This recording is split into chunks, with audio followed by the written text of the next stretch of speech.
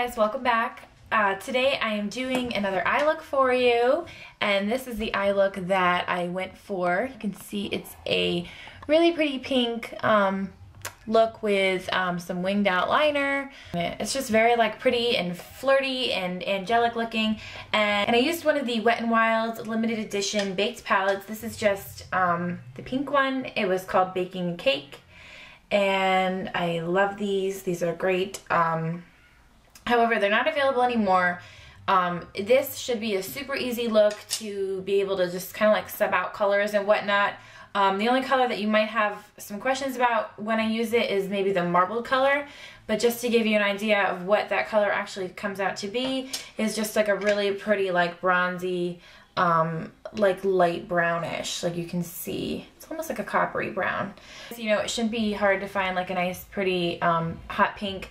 This is a kind of a matte color. Um, this is a very frosty baby pink and then I also used the um, like espresso brown color. You can see that. So um, if you don't have this palette or you can't find it anymore, you know, it shouldn't be hard to just find something to kind of like um, swap out to take their place.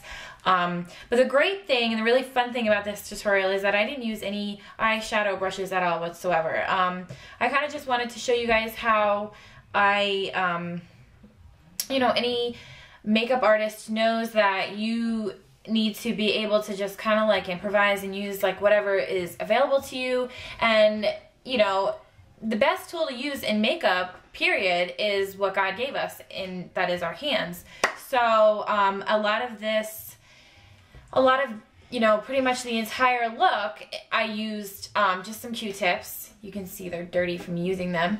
And then I used my fingertips to just kind of like apply color and blend out and whatnot. Um, so I just wanted to show you guys how I do that. Um, you know, you don't need to have like the most expensive makeup brushes to be a makeup artist or to do a tutorial or you know whatever um you know makeup brushes aren't they're definitely a nice little addition and they are definitely the icing on the cake to help achieve you know the looks that you're going for but they are not the end all be all of makeup so um, this tutorial is really going to show you how I achieve you know a professional quality looking eye look um, with just using my hands and extremely inexpensive beauty tool which is q-tips so keep watching if you want to see how I got this and thank you so much for tuning in. Start by priming your eyes. Um, right now I'm using Urban Decay Primer Potion. This is just the original one.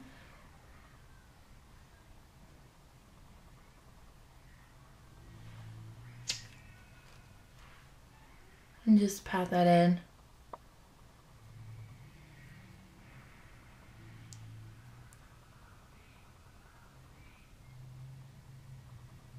Today we're going to be working from um, one of the Wet n Wild Baked eyeshadow palettes.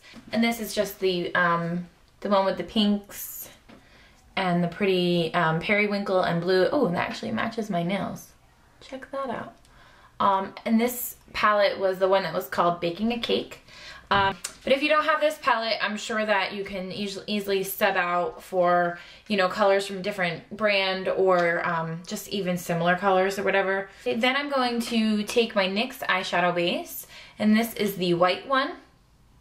And I am going to apply this all over my lid. And just kind of like blend it completely all over the eye up to the brow bone.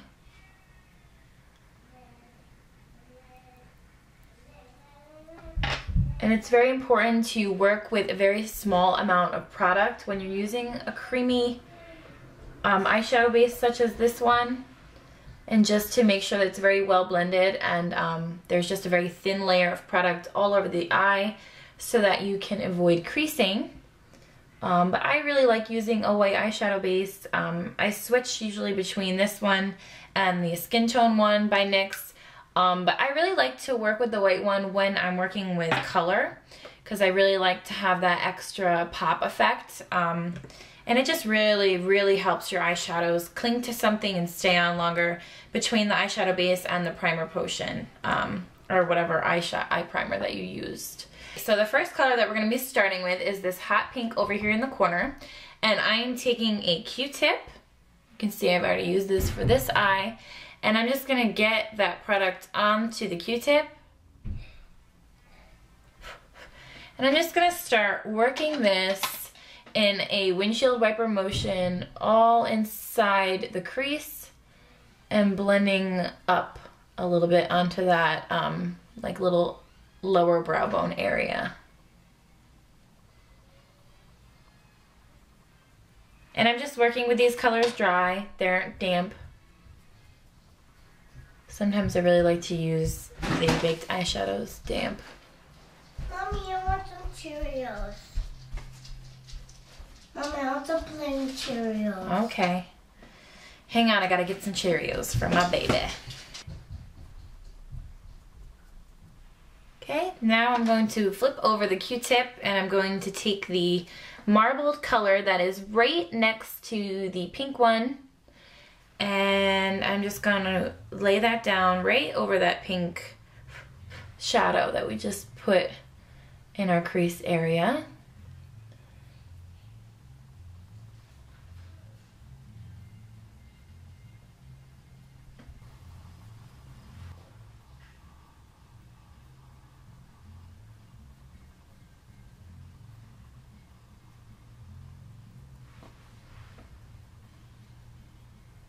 I just want to point it really fast. Um, I never do my makeup without having makeup wipes handy. These are just the Equate exfoliating um, cleansing towelettes from Walmart. They're just like the generic Equate brand. And I always keep these handy.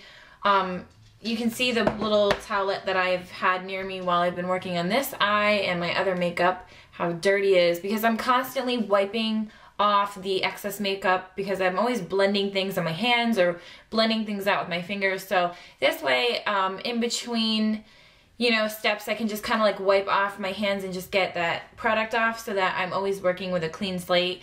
And in this particular look where we're basically a majority of this the shadows are being applied with our fingers and blended out and whatnot, um, it's really important to make sure that you're working from clean hands. So I just wanted to point that out. And that dries like really quick off your hands so it's not like you're sitting here like waiting for your hands to dry. With your fingers, so just go ahead and buff those two colors together a little bit more to combine them.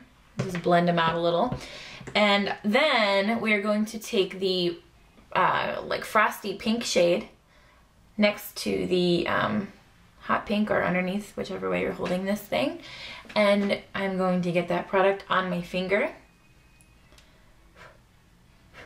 And then I'm just gonna sweep that across my lid and just kind of pack that color on there.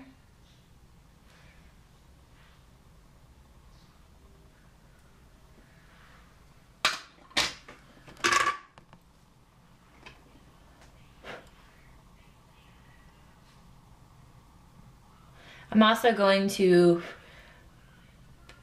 sweep that color underneath the upper brow bone for highlight, for a nice highlight, and in the inner tear duct as well. To get that inner highlight as well. Now, the last color that we are going to take is the, um, it's kind of like an espresso brown. You can see that color there. And that's that color. It's like a nice pretty like espresso brown and I'm going to literally just dot that in the outer corner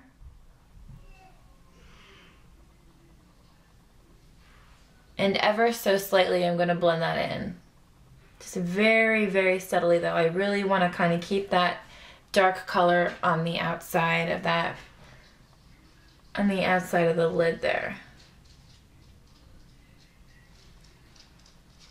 Okay.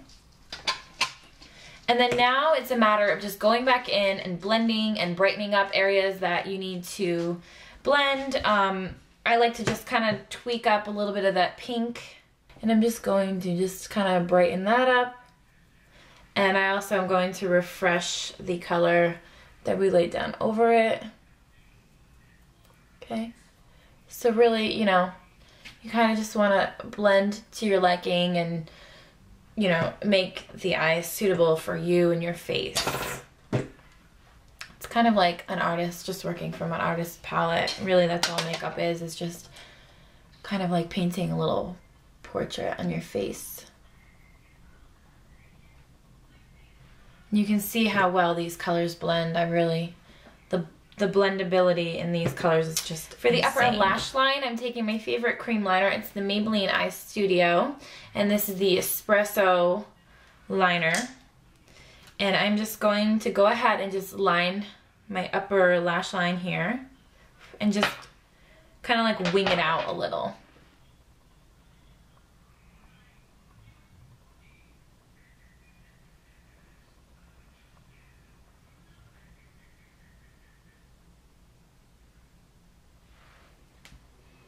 It's easiest if you just kind of like work slowly and in small sections and just be patient with yourself because, you know, doing upper liner, especially with cream liner and doing like a winged out look, really is something that just involves patience and practice and just, you know, finding what works for you. I find that this is my absolute favorite um, cream liner to work with. It just glides on it doesn't smudge. It lasts on all night. And I just love it.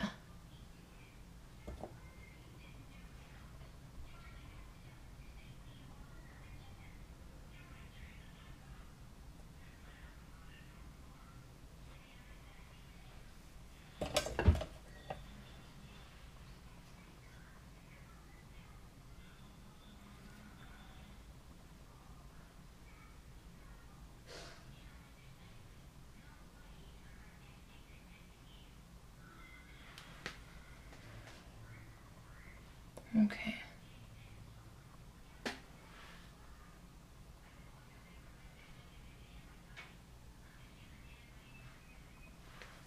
Okay, for the bottom lash that. line, I'm actually just going to take the marbled color that we used over the pink. And I'm just going to take the same like Q-tip that I had used for that. And I'm just going to run that along the bottom lash line here. Just to kind of Give a little bit of color down there.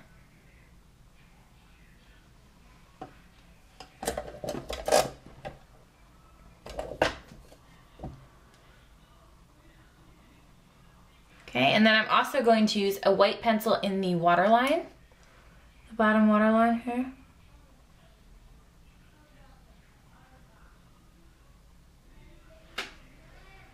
Okay, and then I am going to do my brows. And I'm going to put on my mascara. And then the eyes are going to be done.